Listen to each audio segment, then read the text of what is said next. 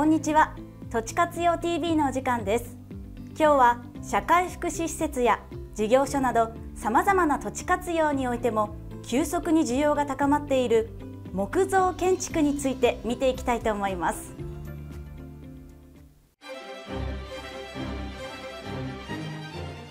これからの土地活用には社会貢献性の高い木造という選択。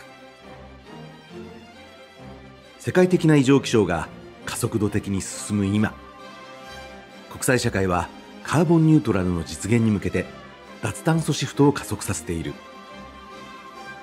そして建築分野においても脱炭素に大きな効果がある木造建築の需要が世界的に高まり我が国においても建築等における木材の利用促進に関する法律が制定され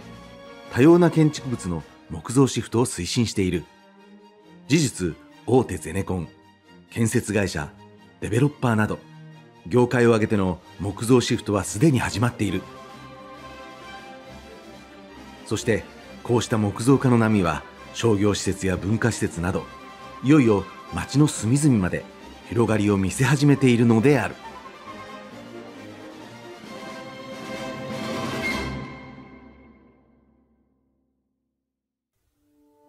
創業以来木を育て森を育み木を生かす保属林業に永遠と取り組み人と地球に優しい木の素晴らしい力を社会に還元する事業に取り組んできた住友林業では早急な脱炭素シフトが求められている現代において住宅はもとより商業施設や事務所公民館や集会所などにも木造での建築を強くお勧めしております。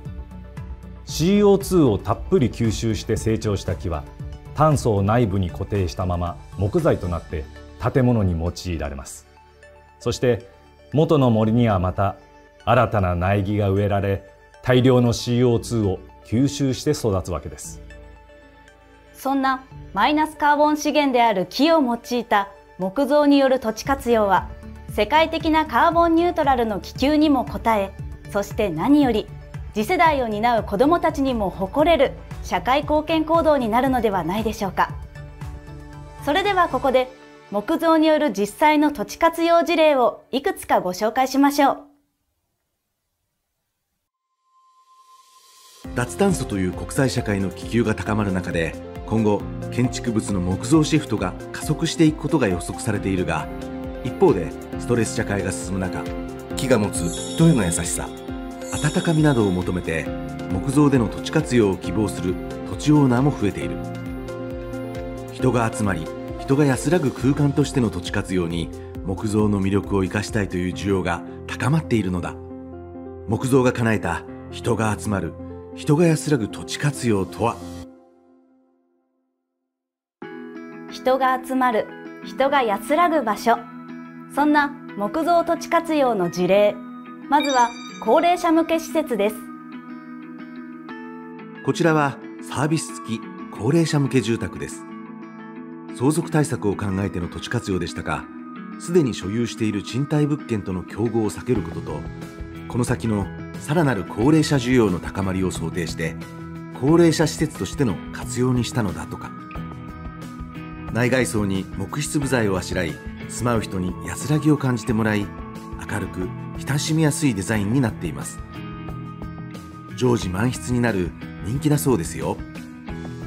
内外装に木質部材を用いることで施設選びをしている高齢者やご家族に大変好印象を持たれ空きが出てもすぐに埋まってしまう常時満室だそうです。人生100年時代と言われ健康寿命も急速に伸びている中でより癒される快適性安全性の高い高齢者住宅の需要が増えています。ご本人のためにも離れて暮らすご家族のためにもこうした木造高齢者住宅はより安心ですね。鉄筋コンクリートや鉄骨造と比べると木造の方が高齢者の怪我が少ないというデータも出ています。またある程度の範囲を木質化することでより質の良い睡眠が得られるという研究結果もあるので高齢者施設にはより木造の効能が威力を発揮するのではないでしょうか。超高齢化時代に突入した日本ではこうしたより快適で安全安心脱炭素にも貢献する木造高齢者向け施設がますます注目されていくのでしょうね。それではもう一例高齢者向け施設での土地活用を見てみましょう。こちらはご自宅を住友林業で建築された介護事業オーナーが事業拡張をすべくご相談いただいた物件になります。以前の介護施設は不具合も多く満足度が低かったため対応面デザイン性性能面など様々な点で総合的に信頼できる住友林業に依頼したのだとか。結果以前の介護施設と比べてもオーナー入居者ともに大きく満足度が上がったのだそうです。住友林業でご自宅を建てられたオーナーが住友林業の対応や建物に大変満足されてご自身が手掛ける2つ目の介護施設にも住友林業の木造建築をご希望されたとのことでしたね。私たち住友林業は建てて終わりという会社ではなく建ててからがおせっ様事業主様との長いお付き合いの始まりだと考えています。24時間365日対応のお客様センターなど建てた後のアフターサポートについても企業力を生かし万全の体制を整えております。住友林業の建物は今や3世代以上の耐久性を誇る高耐久に加え耐震耐火断熱性などさまざまな面で高性能なので長い間の省メンテナンス性や劣化スピードの遅さなどに加えて万全なアフターサポート体制は本当に心強いと思います。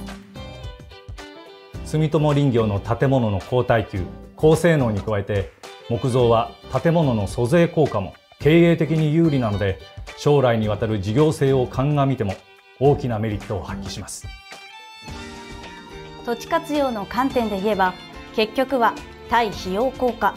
つまり費用をかけた分事業としてどれだけのメリットとして回収できるかが大きなポイントになりますね。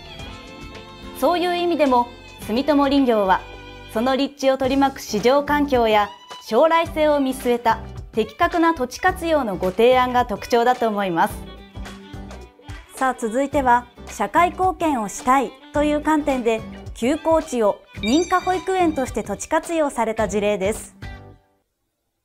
こちらの保育園の敷地は休耕地となって長い間放置されていましたが土地オーナーの社会貢献をしたいという希望のもと一般的な賃貸住宅ではなく保育園という社会福祉施設での土地活用を目指したのです。社会貢献へのオーナーの熱意を受け住友林業では当時深刻化していた待機児童の情報をもとにエリアニーズを把握し運営事業者を募るなど土地活用におけるビジネスマッチングを行い行政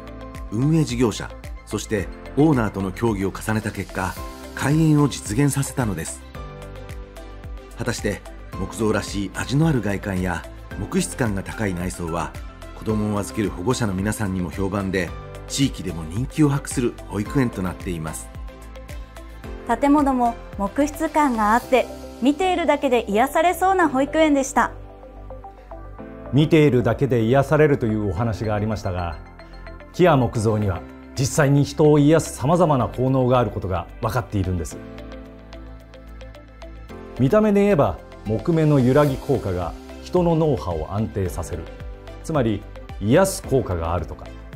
木造校舎と鉄筋コンクリート校舎における児童や教師に関する長年の研究データでは木造の方が疲れにくい。保健室の利用率が低い。インフルエンザでの学級閉鎖率が低い。いじめが少なく道徳心が働きやすいなど人に優しい木造の効能が分かっているんですよ。人に優しく地球に優しい木造で子どもたちを育む保育園。まさにオーナーが希望された社会貢献の実現ですね。さあ続いては自社の事業拡張に伴い社有地の空きスペースを活用して木造の新社屋を建てられた事業主様にお話を伺ってきましたのでご覧ください。こちらは2016年に竣工した建設会社さんの新社屋になります。当時の建設業界ではこの規模の木造はまだ一般的ではなかったので鉄骨造で検討していたそうですがあるきっかけで木造での検討を始めたそうです。最終的には木造の方が経営的メリットが大きくまた耐震性耐火性耐久性の全ての点で木造が全く引けを取らないので木造での建築を決めたそうです。もともとあの、まあ、社業の発展とそれから、えー、人が増えたということがありまして社屋が手狭になってきたなと、まあ、大体こういう大空間の建物は鉄骨造というイメージがありまして、まあ、それで進めていたんですけれども木造で、えー、ならではの工事上のメリットそれから税制上のメリットそして経営の面からいきますとあの原価償却原価償却があの非常に有利だというところをあの指摘をされましてあ木造もありかもしれない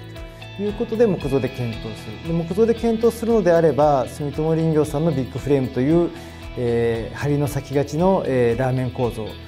この工法というのは我々技術者専門あの会社から見ても非常に優れた工法であることは前々から存じ上げておりましたものですからそこで住友林業さんに相談をしたというのが経緯であります。工事上のメリット税制上のメリット原価償却上のメリットというお話がありましたが。まず住友林業のビッグフレーム工法は自由設計のためプレハブ工法のように規格サイズに縛られることなく上下階の柱位置も含め自由に設計することができます。オフィスの用途によって入り口の広さ通路の広さレストルーム更衣室などの広さを細かい単位まで自由に設計できるメリットは大きいと思います。次に税制面。木造は鉄骨造や鉄筋コンクリート造に比べ固定資産税が割安になるところも大きな利点です。また事務所用建物の減価償却については木造で24年鉄筋コンクリート像は50年と焼却期間が2分の1と短く法人税の面でも有利に働きます。つまり経営面などを鑑みると木造の方が優位性が高いということなんですね。またご覧のように春田建設さんではオフィスの下に広々とした駐車場をとっています。住友林業の強靭な構造ならこのように鉄骨鉄筋コンクリートのような大胆な空間利用もできてしまうのですね。最近はこのように木造でもダイナミックな空間活用ができることが広まっておりご覧のようにピロティ付きの木造オフィスなどの事例が増え始めています。こちらは株式会社日本海洋サービスさんのオフィスです。大きな車の車庫入れもとってもスムーズ。これが木造だなんてちょっと驚きですよね。さあそして木造社屋になってそこで働く従業員の皆さんにも大好評だということなんです。やっぱりちょっと木があって柔らかい感じがあるのですごい環境的には充実して仕事ができるかなと思います。やっぱり木があると緑も映えますしなんとなくやっぱりやる気もちょっとずつ上がってくるような感じがします。空間もすごく和やかというか穏やかな感じに仕上がってましてあの来る方もあのすごく好評ですしあの新しく入ってくる方に対してもあのすごく好評というふうに伺ってますのであのとても良かったなと思ってます。やはりあのこれから毎日通うっていうところでやっぱりあの希望というかあの今後にあのつながっていくなっていうちょっとしたその気持ちですかね。あの前向きなポジティブな気持ちになりました、はい、時代性でいきますとこの6年前はそれほどでもなかったのですが今はあの SDGs ですとか、えー、カーボンニュートラルですとかそういうところもありまして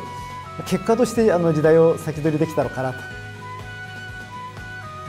地球に優しく人に優しい木造や木のさまざまな効能は事業主の方だけでなくそこで働く人々や新しく入社してくる人のモチベーションという面でもメリットがあるということなんですね。そうですね。私たち住友林業では創業以来数百年にわたって木を育て森を育み木を生かす事業を手掛けてまいりましたがその間に培った木の素晴らしい力を社会に還元すべく木造建築事業を展開してまいりました。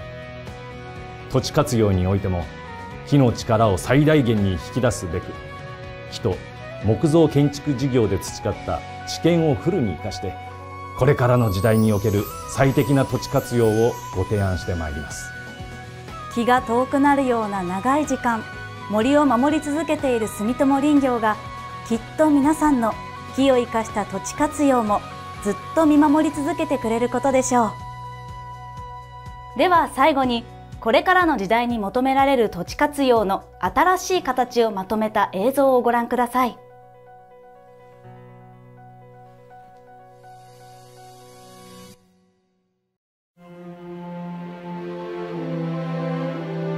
木を育て森を育み木を生かす。脱炭素やストレス社会の進展は元来この国の人々が持つ木造への気球を呼び起こす。耐震性耐火性耐久性断熱防音性そしてメンテナンス性を兼ね備え設計の自由度と将来の可変性にも優れた木造は人と地球にも優しいこれからの時代に求められる社会貢献性の高い土地活用の新しい形。さあ木造に今帰ろう。